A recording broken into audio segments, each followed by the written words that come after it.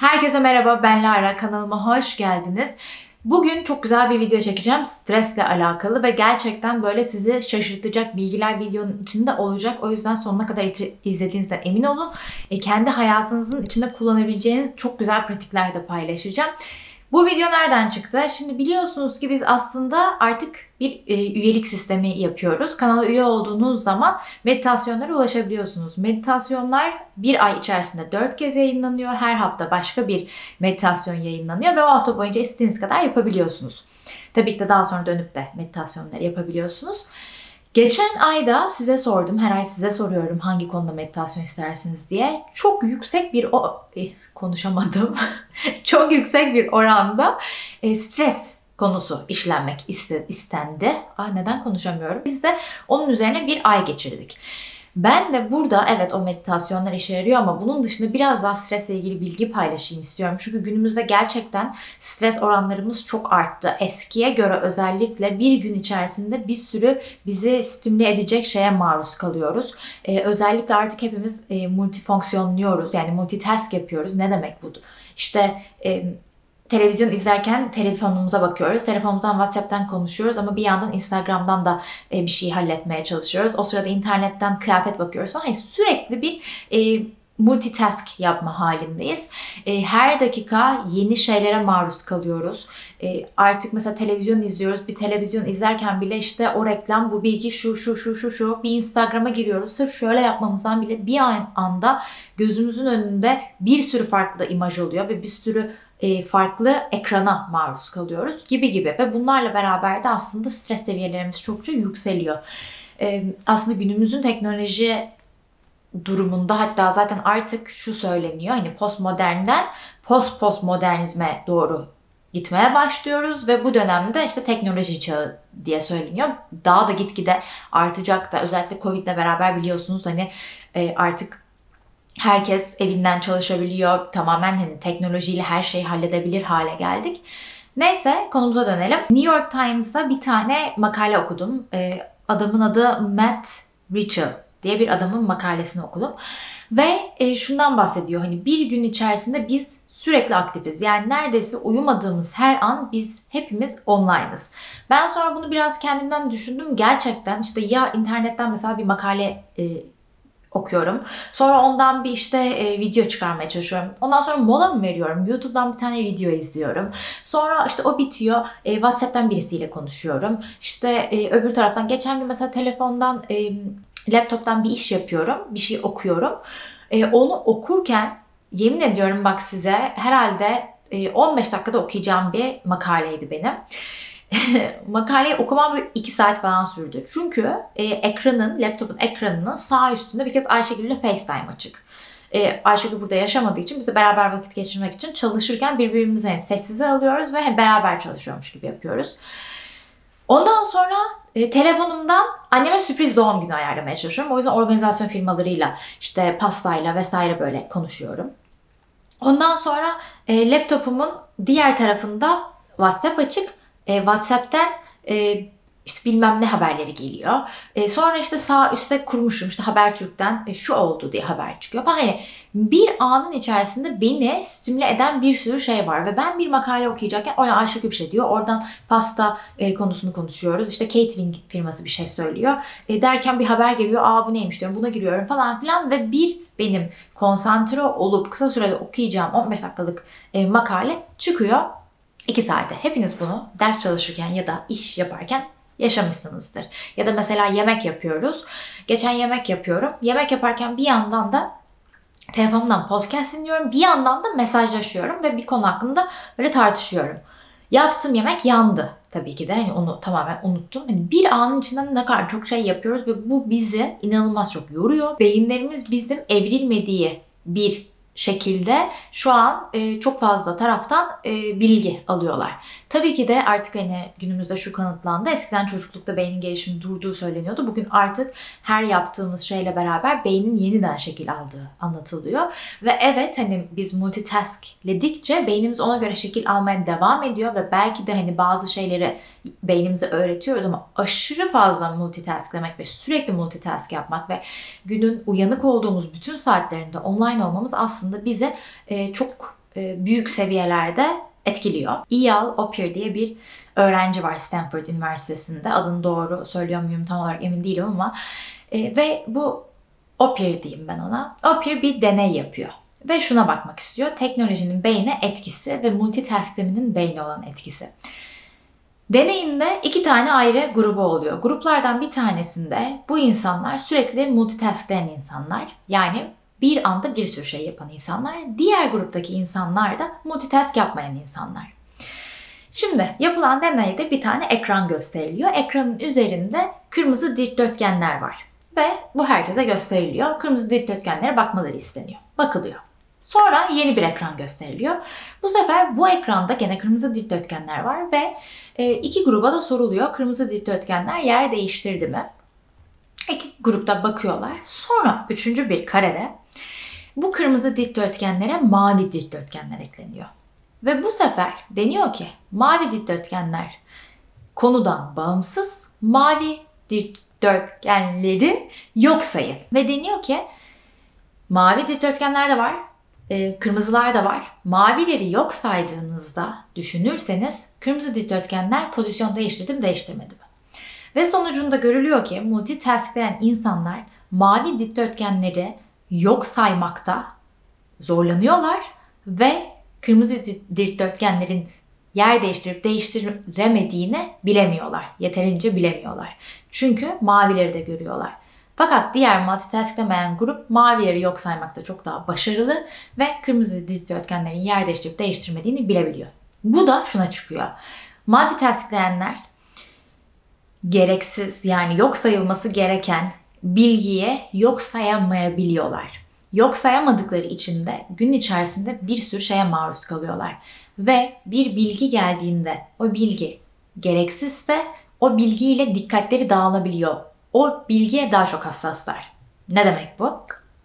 Benim laptopumda makaleyi okurken sağ üstten Habertürk'ten bir şey geldiğinde ona dikkatimin dağılması ve onu yok sayıp makaleme dönmek yerine aa enteresanmış deyip ona tıklayıp maka- e, oradaki haberi okuma. Ve aslında hepimiz yani bir gün içerisinde bizi stimüle eden bir sürü şeye maruz kalıyoruz. E, özellikle aslında şu an hani bizden de sonraki jenerasyon ben mesela hani 90'ları da yaşamış bir çocuk olarak ve benim lise zamanımda iPhone'lar yoktu. Yani evet telefonlar vardı, BBM vardı, BlackBerry vardı ama e, iPhone'lar yoktu. Yani sosyal medya bu kadar böyle yaygın değildi. Hepimizin her dakika elinde değildi. Bir gün içerisinde yani 40 kez sosyal medyanı e, check etmiyordun. Bu zamanları da yaşamış olmak çok güzel benim için ama benden de sonraki jenerasyonlar için aslında teknoloji çocukları yani teknolojiyle doğup teknolojiyle büyüdüler. Artık küçük çocukların elinde minik e, iPad'ler var. Bunu da yargıladığımdan e, dolayı söylemiyorum bu arada. Bunun hakkında da konuşuruz. Bunun etkisi hakkında. Onun üzerine de güzel bir şey okudum. Neyse konumuz o değil. Konumuz neydi? Nereden buna bağladım? E, bir gün içerisinde çok fazla e, şeye maruz kalıyor. Ha, şunu söyleyecektim. Mesela bir tane çocuk e, televizyon izlediğinde ya da hepimiz televizyon izlediğimizde bir dakikanın içerisinde bir sürü kare var. O kare, bu kare, bu, şu kare falan. Eskiden e, televizyon izlerken mesela bir kare daha uzun kalırdı. Sonra başka bir kare. E, bir arkadaşımla konuşuyorduk. O bana bundan bahsetti. Bir tane Japon çizgi filmi varmış. Yeni adam e, bunu e, tekrardan böyle deniyor ve gündeme getiriyor. Çizgi filmin adı da Spirited Away. Ve bu çizgi filmde görüntüler çok daha uzun süre ekranda kalıyorlar. Yani bir anda bir sürü görüntü yok. Yani çocuklar bir anın içerisinde bir sürü bir sürü bir sürü şeye maruz kalmıyorlar. Sonra Kelly McGonigal diye bir psikoloğun TEDx konuşmasını izledim. E, bu psikolog aynı zamanda Stanford Üniversitesi'nde de profesör. Ve e, kadın şunu anlatıyor. Yıllarca diyor bütün hastalarıma hep dedim ki işte stres kötüdür, stres kötüdür, stresten uzak durun. Şimdi bunu söylerken bu arada aşırı stresli bir hayatım vardı. Yani burada bir iki yüzlülük zaten söz konusuydu benim hayatımda ama asıl size söyleyeceğim sürpriz bu değil diyor. Ben bugün öğrendim ki diyor Uzun süredir belki de hastalarıma bir kötülük yapıyordum stresten uzak durun diye onlara stresi kötü bir şey olarak tanıtırken. Çünkü bir araştırma yapılmış. Bunun üzerine birkaç araştırma daha, bir sürü araştırma var. Bunlardan bir tanesi de 8 sene boyunca iki grup insan inceleniyor. Bir tanesi e, stresin kendilerine zararlı olduğuna inanan insanlar. Diğer grupta stresin zararlı olduğunu düşünmeyen insanlar. Ve e, stresin ölüm oranlarını etkilemesinde aslında insanların strese bakış açısının etkili olduğu gözleniyor. Eğer e, yani stres seni öldürmüyor, stresi kötü ve zararlı olarak görürsen o zaman o bakış açın seni stresten öldürüyor. E, stresi zararsız olarak görürsen sana o kadar da etki etmiyor. Ve şunu söylüyor. Mesela streslendiğimizde işte kalbimizin atış hızı artar, terleriz. Hissetmişsinizdir avuçlarınız terler falan, yanaklarınız kızarır böyle bir, bir garip şeyler olur vücudunuzda. Ve e, o zamanlarda siz stresi kötü bir şey olarak görmek yerine stres beni demek ki şu anda hayatımda bir challenge'a ya da bir, bir şeye doğru hazırlıyor diye düşünürseniz o zaman stresin aslında faydalarından da yararlanabilirsiniz diyor.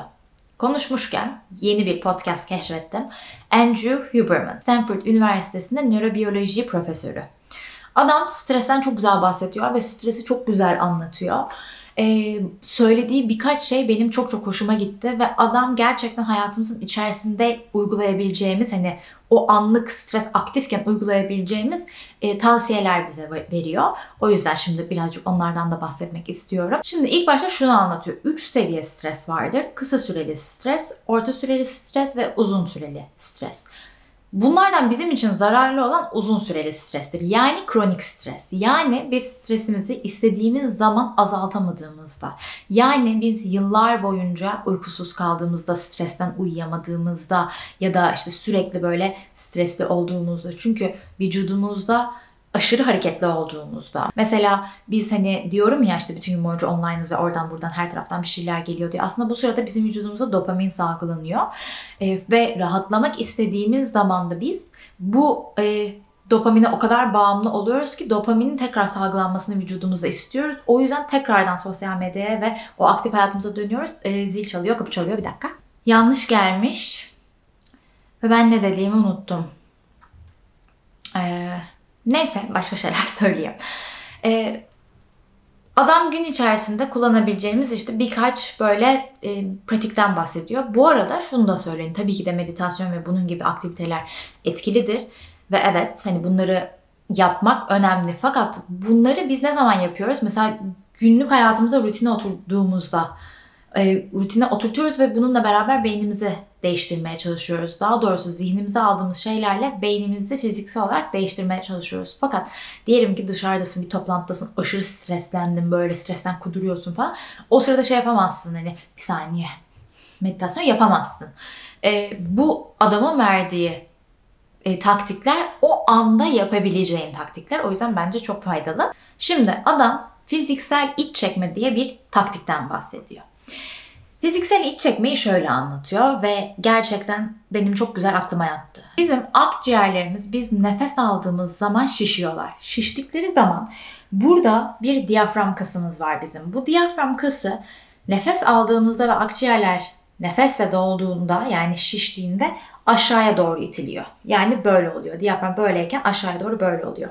Şimdi bu sefer kalbimiz yani burada kalbimiz için diyafram buradan buna geçtiği zaman daha fazla alan kalıyor. Daha geniş bir alan kalıyor. Ve burada fiziksel olarak bizim kalbimiz aslında büyüyor. Kalp fiziksel olarak büyüdüğü zaman yani alan genişlediği zaman kan akışı da yavaşlıyor. Kan akışı yavaşladığında kalbimiz beynimize sinyal gönderiyor ve diyor ki kalpte kan akışı yavaşladı, hızlandır. Bu sefer beyin kalbe geri sinyal gönderiyor ve kan akışını hızlandırıyor. Yani aslında daha e, stresimizi arttırmak istediğimizde mesela koşucular vesaire bunu yapar. Bizim nefes alışımızın nefes verişimizden daha uzun olması gerekiyor. Yani bizim nefes alışımıza odaklanmamız gerekiyor. Fakat diğer tarafta nefes verirken o diyaframımız böyle olmuştu ya. Bu sefer böyle yukarı çıkıyor. Yani normal haline dönüyor. Nefes verdiğimizde kalp için daha az bir alan oluyor ve kalp fiziksel olarak küçülüyor. Kalp fiziksel olarak küçüldüğünde daha küçük olduğu için kan akışı hızlanıyor. Kan akışı hızlandığında kalpten beyne nöronlar gidiyor ve diyorlar ki kalpte kan akışı hızlandı, yavaşlat. Bu sefer beyin de tekrar kalbe sinyal gönderiyor ve kan akışını yavaşlatıyor. Kan akışı yavaşladığında ne oluyor? Biz sakinleşiyoruz, rahatlıyoruz. Yani aslında biz nefes verirken beynimiz kalbimize rahatlaması için sinyal gönderiyor. Bunun üzerine de fiziksel iç çekme taktiğini anlatıyor. Fiziksel iç çekme taktiğinde iki tane nefes alıyorsun, bir uzun nefes veriyorsun. İki nefes aldığında birincisi büyük, ikincisi daha küçük oluyor. Çünkü daha fazla alan kalmıyor alabileceğin. O yüzden küçük bir nefes daha alıyorsun ve sonra uzun veriyorsun. Mesela Ay bir dakika. Güzel büyük nefes alıyorsun. Bir daha. Doldu. Ve uzun veriyorsun. Şimdi adam bir saattir diyor ki nefes verişiniz alışınızdan daha fazla olmalı sakinleşmeniz için. Ama bu taktik diyor ki iki tane nefes alacaksın bir tane vereceksin diyor. Bunun da nedeni aslında akciğerlerin üzerinde saklar yani e, hava tüpleri var ve e, iki kez nefes aldığında bunlar daha fazla şişiyorlar ve dolayısıyla e, nefes veriş daha etkili hale geliyor. E, o yüzden hani çok streslendiğiniz anlarda zaten hani bazen bunu beden otomatik bile yapıyor böyle görmüşsünüzdür ya da hiç e, yani yapmışsınızdır böyle şey olursun diye sakinleşmeye çalışırsın. O yüzden bunu hani bilinçli bir şekilde yapabilirsiniz. E, iki tane nefes alıp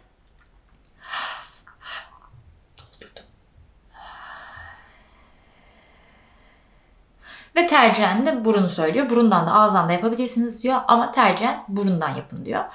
Şimdi bu bir tanesiydi. Bir de söylediği bilgilerden bir tanesi şu an aklıma geldi. Benim çok hoşuma gitti. Şunu söylüyor. Mesela çok streslisinizdir diyor. E, stresli olduğunuzda işte aşırı çok dopamin salgılandığı için aslında o dopamin sizi hasta olmaktan korur. Yani belli seviyede stres iyidir ve stres sizi hasta olmaktan bile korur diyor. E, o dopamin mesela günlük hayatınızda stresle e, size sizin vücudunuza salgılanıyor tamam mı? Sonra tatile gittiğinizde hep dersiniz ki işte tatile gideceğim, dinleneceğim vesaire. Tatile gidersin ve dinlenmeye başladığın an bir anda hasta olursun. Hiç oldu mu bu size? Bana çok oldu. Tatile gidiyorum ve ertesi gün böyle hasta oluyorum. Bunun sebebi de vücutta dopamin seviyesi düştüğü için hastalığa karşı bizi koruyan bu hormon azalıyor ve dolayısıyla biz bir anda rahatlayacağım derken hasta oluyoruz. Bence enteresan bir bilgi. Son olarak da şundan bahsediyor. E, beyin ve beden arasında bir e, konuda bağ e, ayrıştırabilirsiniz, kopartabilirsiniz diyor. Şimdi diyor ki mesela gün içerisinde çok fazla yapacağınız şey var. Aşırı yoğunsunuz. İşte sabah e, onu yapmanız lazım. Oradan şunu, oradan bunu. Akşama kadar böyle bütün gün bir şeyiniz var. Şimdi e, beden bütün gün hareketli ve stresli ve beyin de yani zihin de stresli. Diyor ki e, diyelim ki koşu bandındasınız ya da spordasınız ya aktif olduğunuz bedenin aktif olduğu bir zamanda koşu bandındasınız ya da dışarıda koşuyorsunuz beden aktif. Beyinle bedenin bağını kopartmak önemli. Ne demek bu? Beden çok aktifken beyni sakinleştirmek. Diyor ki diyelim ki yürüyüş yapıyorsunuz ya da koşu bandındasınız bakış açınızı genişletin ve baktığınız yeri görmeye çalışın. Ve beyni bu şekilde sakinleştirin. O zaman beden şunu öğrenmeye başlayacak. Beden aktifken zihin sakin. Günlük hayata dönelim. Bütün gün işleriniz var ve hepsini yapmanız gerekiyor. O zaman beden bütün gün aktif ama zihin sakin. Beden koşuşturma içerisinde ama zihin çok da koşuşturma içerisinde değil. Bu da bence çok güzel ve e, içimize yarayabilecek bir bilgi. Gerçekten de hani stres artık e, hepimizin hayatının bir parçası oldu ve şunu da söylemek istiyorum. Hani stres daha demin de bahsettim ama stres kötü değildir. E, stres çoğu zaman bizim işimize yarar ve özellikle hayallerimizi gerçekleştirmek istediğimizde stres bizim işimize yarar. Bunu bir kez daha hatırlatmak istiyorum. Hayallerin olması bir e, gök kuşağına benzemez. Ha hayallerim oluyor gibi bir şey yaşamazsın. Hayallerin olurken Deli gibi streslenirsin, anksiyete yaşarsın. Ben bu hayali kaldırabilecek miyim? Hatta şuna kadar gider. Ya ben bu hayali gerçekten istiyor muyum ya? Galiba istemiyorum ya Flara. Tam boş ver yok yok ben bu hayali çok istemiyordum. O yüzden e, bunu bırakayım da şuna odaklanayım. Hayır aslında gerçekten istiyorsun ama o sırada o kadar streslendin ve anksiyete başladı ki istemediğini e, kendine inandırmaya çalışıyorsun ki olaydan kaçabil. Ama öyle kaçmak yok. Zaten o olaydan kaçamayanların hayalleri gerçekleşiyor. Bir söz vardır ya işte hayalini gerçekleştirenlerle gerçekleştirmeyenler arasındaki fark nedir? Fark şudur şudur. İşte bence fark bu. Bir tanesi e, stresin varlığıyla barışık ve stres orada olmasına rağmen e, devam ediyor ve stresi e, onu destekleyen bir şey olarak görüyor belki de. Yani beni bir duruma hazırlıyor diyor, diye. Ya da stres geldiği an panikleyip topukluyoruz. O yüzden bu konulara hayatınızda dikkat edebilirsiniz. Umarım videodan keyif almışsınızdır. Hepinizi çok öpüyorum. Kendinize iyi bakın. Bay bay. Come all ye faithful, joyful and triumphant. Come ye, come ye.